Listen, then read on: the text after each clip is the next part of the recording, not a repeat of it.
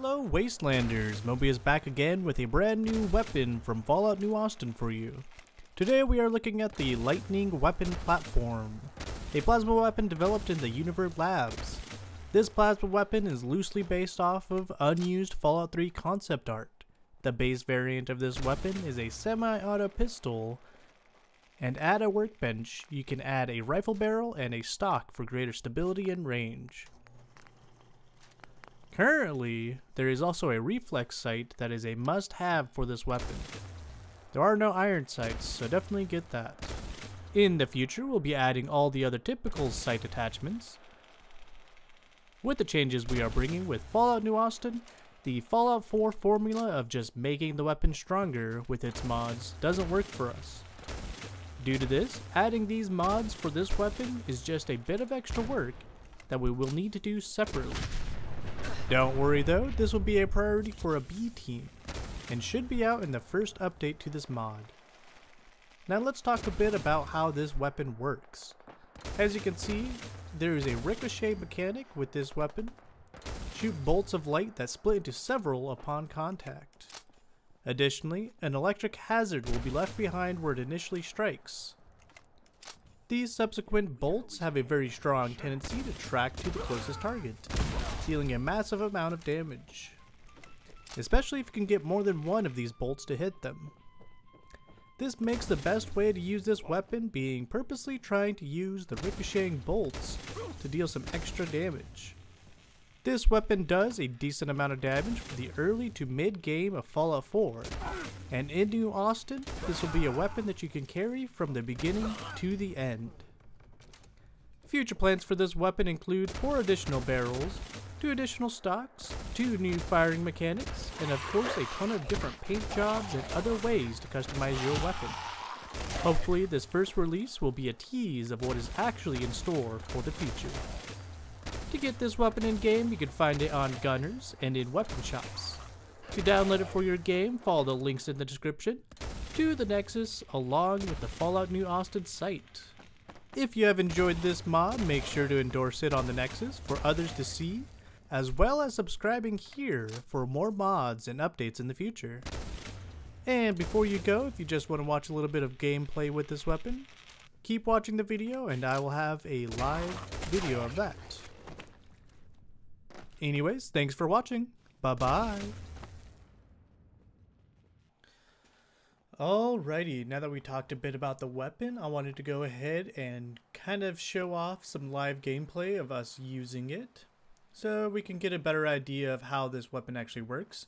Um, be mindful that this is very, very early on in the game. It's pretty much the beginning of the game. And this is a bit more of like a level 10 to 15 weapon whenever you start getting a plasma rifle or plasma pistol weapons. So just keep that in mind and yeah, let's go ahead and see what we can do. I'm going to go ahead and drop a quick save right here. And this is the first time this character has been to this location, so hopefully we'll be able to find a bunch of people.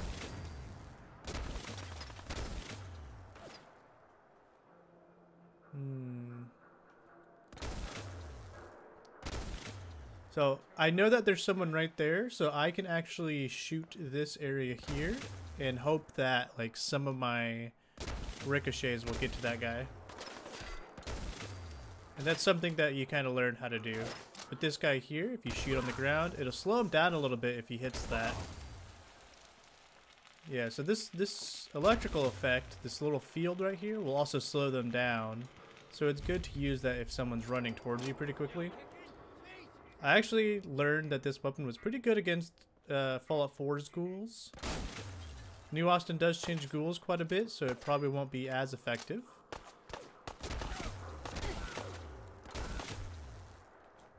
But for Fallout 4, it, it seems to do the job. So I don't know where this guy's shooting me from. Yeah, so again, we, we were able to get behind his cover just using the ricocheting bolts. This is making a lot of noise, isn't it? okay, I'm going to go up and around. And I only have two stim packs, so we have to be a little bit careful. So there may be points where I cut.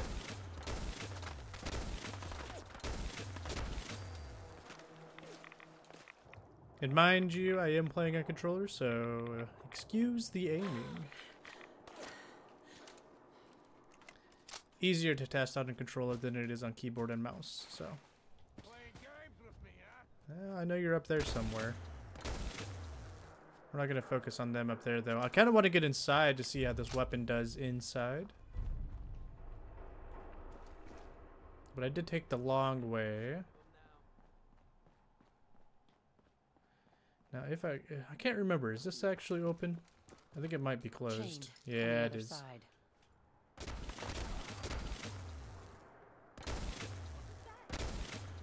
Is there one more over there, or is there both die?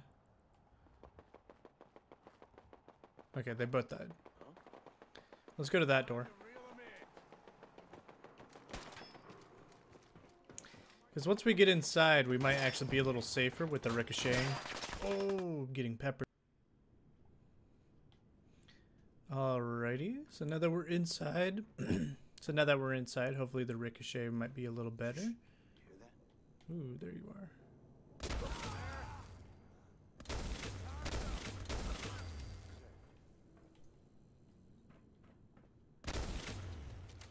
I'm actually surprised we didn't get followed in.